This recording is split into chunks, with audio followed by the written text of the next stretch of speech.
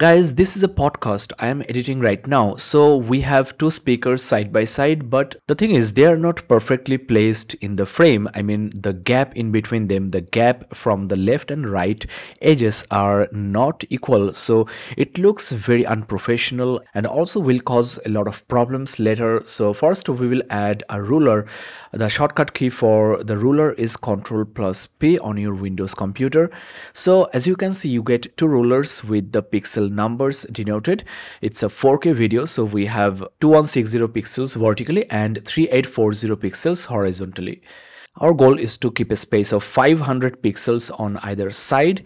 You can try it manually by moving the videos, which is very hard to do actually just using the ruler. So in Wondershare Filmora 13, you get the all new guidelines.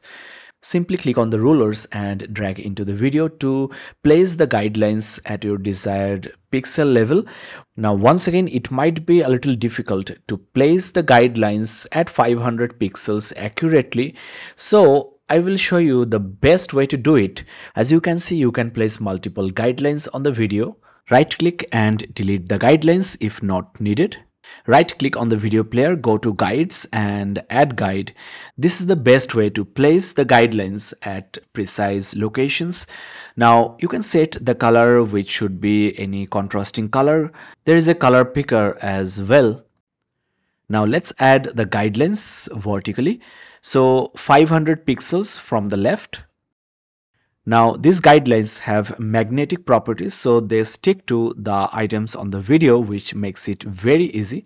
We need another guideline 500 pixels from right. Another way to add the guideline is to right click on the ruler and click add guide. Select vertical direction and position 3840 minus 500 that is 3340. So it has been added move the video and it sticks nicely to the reference line. Now the videos are symmetrically placed and also in the middle with equal gap from either side. Now let's add two more guidelines at 200 pixels gap at the top and also at the bottom. So the upper horizontal reference line is here, resize the videos at the bottom guideline at 1960 pixels drag and resize the videos from the bottom. So this is how we have placed two videos at predetermined position and size on the video player. Of course in the exported video the guidelines will not appear. In fact when you play back the video the guidelines disappear.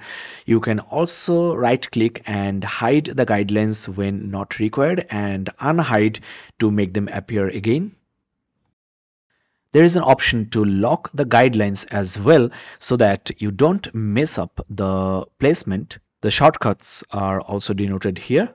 Now suppose you have multiple speakers in the podcast. So for the other speakers, you can place the videos at the right places with the help of these guidelines without messing up the actual layout of the video. So this is how guidelines can help you a lot in your professional work. Now we want to add names of the speakers in the video. So it can be very easy using the guidelines you can place them in the middle directly below the videos with the same text sizes. Not only makes the process faster but also perfect. This is the end of today's tutorial. Download and try Filmora 13 today.